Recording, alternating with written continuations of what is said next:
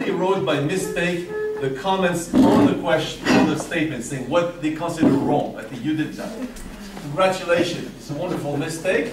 I changed the exercise, we do now your mistakes. So, if you find a, a, a problem, very good. Write the problem on a sheet of paper.